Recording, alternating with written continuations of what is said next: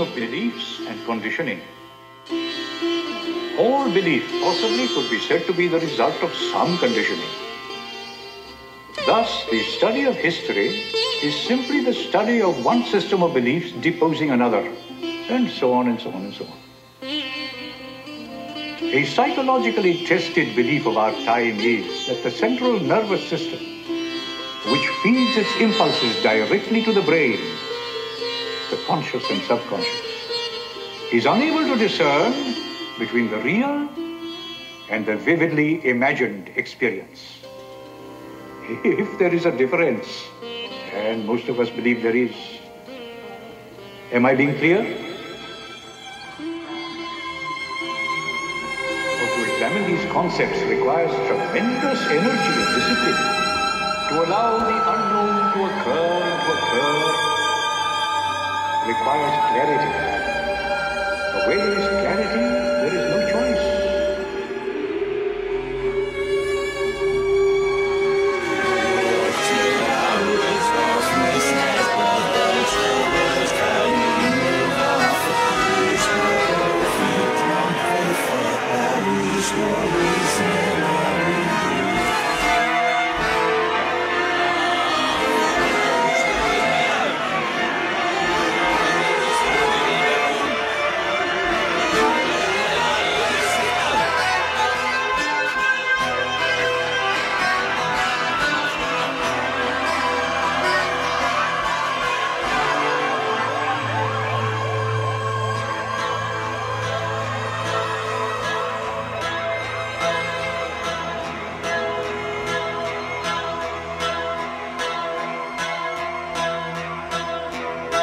Talking with the Master regarding the nature of conceptual reality. Psychologically speaking, the human mind, or brain, or whatever, is almost incapable of distinguishing between the real and the vividly imagined experience. Sound, film, music, radio. Even these manipulated experiences are received more or less directly uninterpreted by the mind. They are cataloged and recorded and either acted upon directly or stored in the memory or both. Now, this process, unless we pay it tremendous attention, begins to separate us from the reality of the now. Am I being clear? For we must allow the reality of the now to just happen as it happens.